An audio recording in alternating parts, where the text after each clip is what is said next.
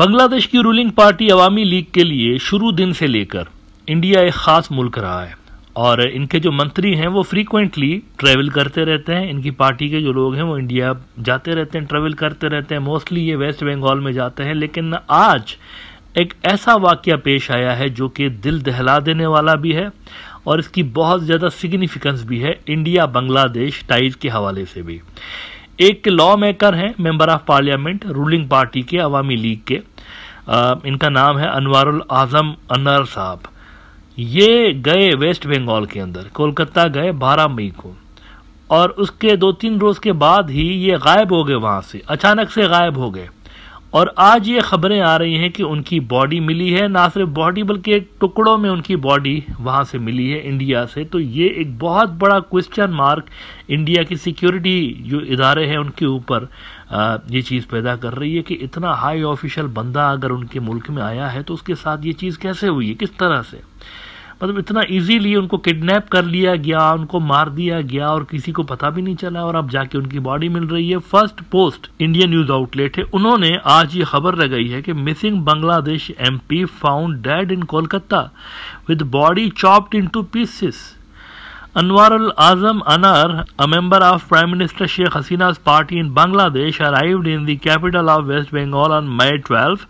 The news of his death was confirmed by Bangladeshi Home Minister Asaduzzaman Khan.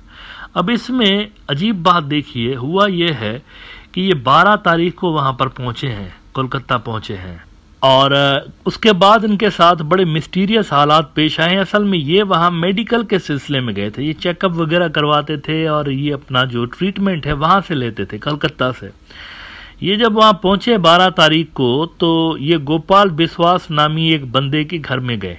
और गोपाल विश्वास ने ही फिर police से रबता किया था और कहा था कि अनवारुल अजीम मिसिंग है और उनको जो है वो ट्रेस नहीं किया जा सकता। उस बंदे ने बताया पुलिस को गोपाल विश्वास ने कि मैं 25 साल से जानता हूँ इनको। और ये जब भी इंडिया आते हैं तो अक्सर मेरे घर पे भी रहते हैं क्योंकि हमारे फैमिली रिलेशंस हैं। उसके बाद जनाब इन्होंने बताया कि सात बजे बारह तारीख को रात के सात बजे, शाम के सात बजे अनवार साहब जो है वो पहुँचे इनके घर, गोपाल के घर। और वहाँ से फिर तेरह मई को इसने डॉक्टर को दिखाया और उसके बाद गोपाल विश्वास ये जो इंडियन बंदा है, ये कहता है कि इन्होंने मुझे कहा कि मैं जा रहा हूँ किसी इंपॉर्टेंट मीटिंग में और वापसी पे मैं खुद ही आपको बता दूँगा, वरना कॉल करने की ज़रूरत नहीं है।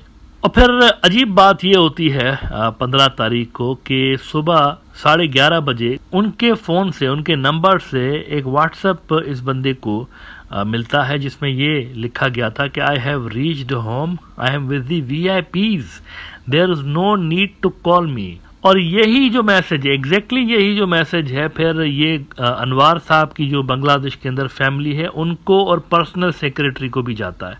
लेकिन अगले ही रोज 16 मई को अनवारुल अजीम साहब की जो फ़ोन थी, उससे उनके पर्सनल असिस्टेंट जो है ना पर्सनल सेक्रेटरी उनको फ़ोन जाता है।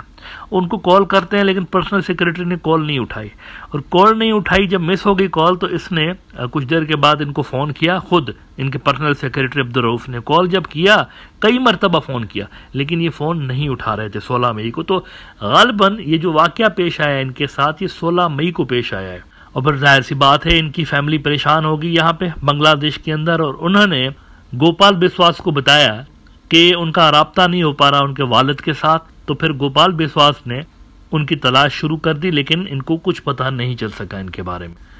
अब ये सारे उनकी डिसअपियरेंसेस की कहानी थी, और उसके बाद आज ये खबरें मिल रही हैं कि इनकी जो है डेड बॉडी मिली है, लेकिन उसके भी कुछ हिस्से मिले फ़र्स्ट पोस्ट की स्टोरी जो है, अभी तक जो मीडिया में रिपोर्ट हुआ है।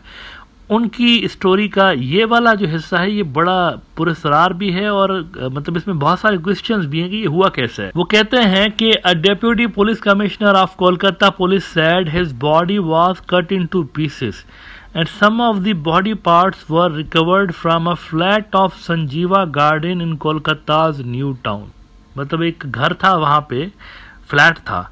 फ्लैट से इनकी बॉडी के कुछ हिस्से वो बोल रहे हैं। कुछ हिस्से का क्या मतलब है? क्या पूरे उधर नहीं था, कुछ दूसरी जगह पे भी इनको रखा गया था? ये कैसे हुआ है? ये बड़ा मिस्टीरियस किस्म का केस बनता चला जा रहा है। पहले जब मेरी नज़र से दो चार रोज़ पहले ये खबर गुजरी इंडियन मीडिया में कि ये गुम हो गए तो मुझे लगा ये होगा, होता है नॉर्मली लोग फ़ोन बंद करके तो जब मीटिंग्स में होते हैं तो फ़ोन बंद कर देते तो मैंने इस पर ज़्यादा बात नहीं की। लेकिन आज जब ये डेवलपमेंट मीडिया में रिपोर्ट हुई है तो बहुत शॉकिंग किस्म की है और अलार्मिंग भी है। कि इंडिया के अंदर इतना ज़्यादा सिक्योरिटी लैब्स हाई ऑफिशल्स के लिए कि आसानी के साथ उनको किडनैप कर लिया गया। कई रोज़ तक उनका कुछ पता नहीं चला और आज जाके उनकी इस तरह से बॉडी मिली है और ये मंत्री हैं मिनिस्टर हैं मेंबर ऑफ़ पार्लियामेंट हैं। अच्छा बांग्लादेशी होम मिनिस्टर जो हैं, अब ज़ाहिर सी बात है, बांग्लादेश की जो अथॉरिटीज़ हैं, वो भी इंडियन अथॉरिटीज़ के ऊपर ही रिलाय करेंगी क्योंकि वाक्य पेश आया है इंडिया के अंदर। बांग्लादेश में पेश नहीं आया।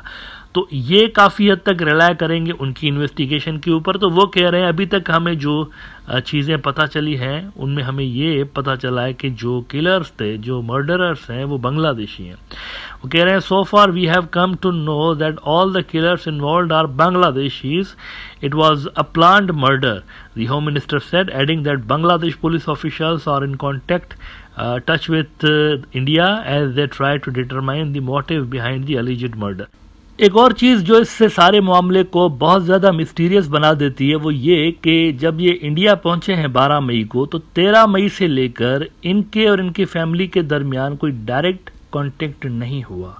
इस दौर में भी जब व्हाट्सएप है आपके पास, जब आपके पास वीडियो कॉलिंग की सहूलतें मौजूद हैं और आपके पास इंटरनेट की सहूलत भी मौजूद होती है और हर जगह तकरीबन हर होटल में अगर आप रहें तो उसमें भी इंटरनेट होता है। मोस्टली घरों के अंदर भी इंटरनेट मौजूद होता है। नहीं तो जो सिम आप यूज़ कर रहे होते हैं तो वो जो नेटवर्क होता है वो इंटरनेट पर भी होता है। तो मिस्टीरियस बात यह है कि इनकी फैमिली कह रही है कि 13 मई से लेके इनके दरमियान और ये जो अनवारुल अजीम साहब थे, इनके दरमियान कोई डायरेक्ट रबता नहीं हुआ। जो भी कम्युनिकेशन हो रही थी, वो थ्रो टेक्स्ट मैसेजेस हो रही थी। तो इसका क्या मतलब है?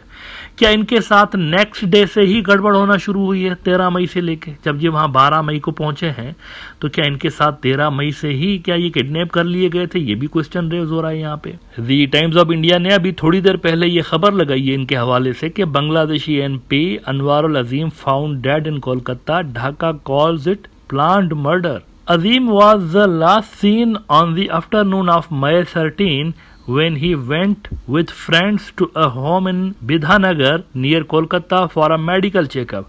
According to a family friend in Kolkata's Bidhanagar, the MP mentioned he would be traveling to Delhi. But there was no direct contact with him since May thirteen ये वो इंपॉर्टेंट बात है जो कि थोड़ी देर पहले मैंने आपको बताई only mobile messages were exchange with his family in Dhaka and his friend in Bidhanagar, indicating his intended journey to Delhi.